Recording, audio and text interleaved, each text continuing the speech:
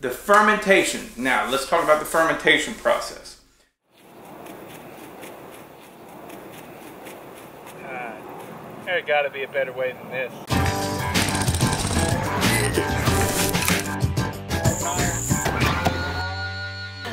Very nice.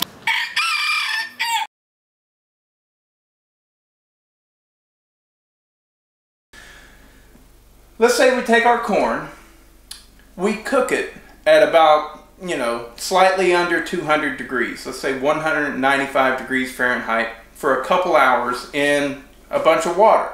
So you got a big pot, you put about that much corn in there, I don't know, about that much, and you fill it up with uh, water and you let it sit there and simmer, a slow cook for about two hours. What that's doing is that is uh, releasing the starches out of that corn, so the sugars, the natural sugars that are in that corn. Then you let it cool down, and from there, once it gets just just a, a little bit above room temperature, we're looking at maybe about 90 degrees, 95 degrees or so. You throw in your yeast. Now, do you have to throw in yeast? No. Yeast is around us everywhere. I've got yeast on me right here. You know, it's it's all over the place except for a sterile environment. All right. So, if you give it if you let it sit there, the natural yeasts that are around us will um, uh, will eventually cause the juices from the corn to start to ferment. Right? However, we tend we, we use our own juices, or I'm sorry, we use our own yeast because this gives us two things that we can control. Number one, it makes the fermenta fermentation process go faster. Right? So if you introduce a large amount of yeast into this bat, this this mixture, you are speeding up that fermentation process which normally I don't know. I've never done it without the pitched yeast, the regular yeast that you put in. Uh, but let's say it takes a month to ferment properly, right?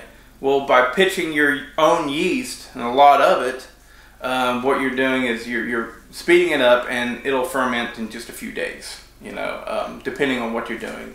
But anyway, back on track. All right, so it speeds up the fermentation process, that's why we use our own yeast.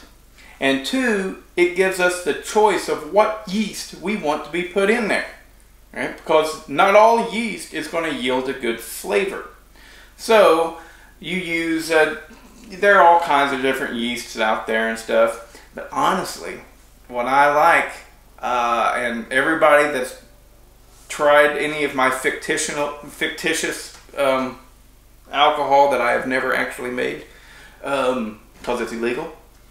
They say that they like it better, you know, the, the, the bread yeast. I just use regular Fleischmann's bread yeast.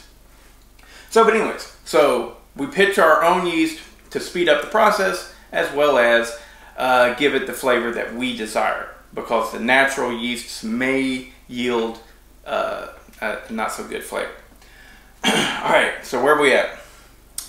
trying to keep it basic. trying to keep it really basic here.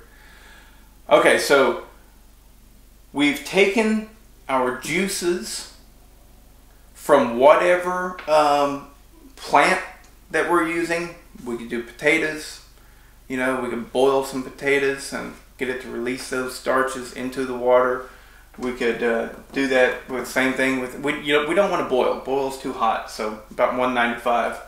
We could cook our corn we could cook our um, rye and we get the juices. We let it cool down to around 95 degrees. Then we pitch our yeast. Our yeast, pitching our yeast just means you're putting it in there. Pour it in, whatever. So you put your yeast in and then you cover it up. Now you can cover it up with just a towel like I do my pickled corn or something like that. Um, you could just cover it up just you're wanting to keep flies and stuff like that out of there. Or you can, what, what I tend to use is I've got a five gallon bucket that people use for, for making beer and it's got the little bubbler on the top to allow air out but no air in, that kind of thing. Um, so, but you just let it sit and um, typically uh, you're going to let it sit for probably about five days, and you're good there. Take five days. All right. And then after that, you take the the, the, the fermented juices that you now have in your bucket, and those fermented juices are a very rudimentary beer or wine. Right, they're all all of these things. They're all the same. You know, wine and beer and brandies and schnapps. They're all the same.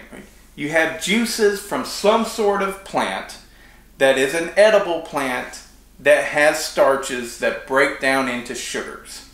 The yeast eats the sugars that are in the water, right? And its consum- consumption of the sugars creates uh, a chemical reaction that creates the alcohol. So now in your bucket that's fermented, you literally have a type of beer. Now you take that type of beer, and in order to make liquor, moonshine, rum, or in my case, what I'm going to be doing, tequila, right? You then take it and you put it in your distiller.